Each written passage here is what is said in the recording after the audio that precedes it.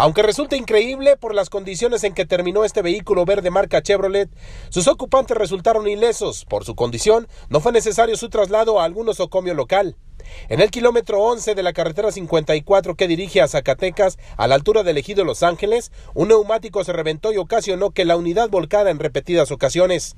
En el lugar, asistieron a este accidente un camión y una ambulancia del cuerpo de bomberos de la estación de Ramadero. Los paramédicos valoraron a las personas que venían en la unidad, por lo que determinaron que solo presentaban raspones sin consideración.